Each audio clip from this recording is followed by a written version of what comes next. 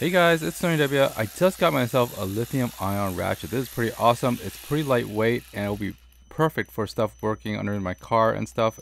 And basically it's a 3 8 drive. So why did I get this? It's because I do have electric screwdrivers and drills and stuff and also angle drills. But for something that needs a little bit more torque, this one provides like 46 pounds of you know of torque, which is pretty neat.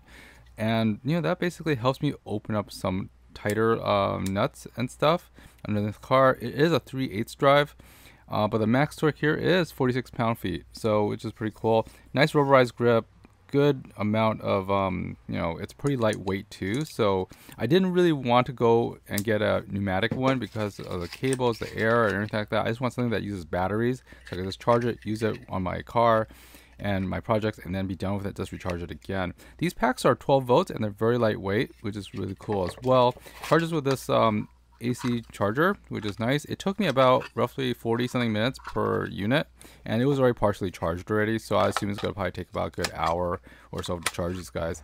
But yeah, when you're charging it, it's basically red, and then when it turns green, then it's okay. So pretty straightforward. It looks pretty uh, generic in terms of that. It does come with uh, some sockets like a 10, 11, 12, 14, 15, and a 17. But the main thing I use this uh, wrench for is to either remove or quickly put in nuts or bolts or whatever else like that. It also comes with a half inch converter, so you could use a half inch drive on this, which is really cool as well. But the main thing, like I said, I'm going to finalize my torquing for anything else with a, you know, by hand or by a torque wrench so I can get the exact measurement. Now putting the battery in, here is the quick speeds of it. You know, you also change the reverse speed. There is a light in the front as you can see, so in the dark. So it's pretty cool. And here's the speeds real fast. That's all the way there. And of course, you could, let's switch the thing to the other side. The speed doesn't change, whether it's reverse or or reverse, so you can get the quick, um, for machine screws and stuff, it should be pretty quick. Here's the variable speed of it. If you look at the trigger, if you, you, you can actually go very slow or very fast. The battery power indicators on the side as well. Um, but yeah, this is, you can do it very slow or very fast.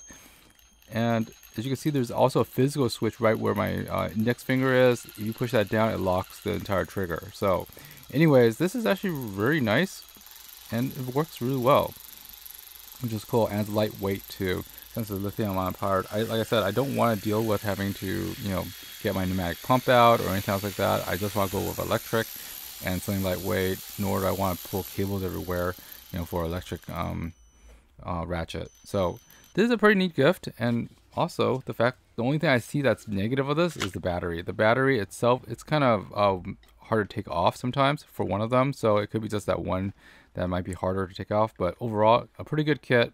Pretty, con- you know, I don't really need the accessories, but the fact that all the batteries are cool and those cool, another thing would be nice would be adding an extension rod to this. Anyways, guys, it's Sterling W. I hope this review was helpful to you, and I'll see you next time. Thanks for watching, guys. Bye bye.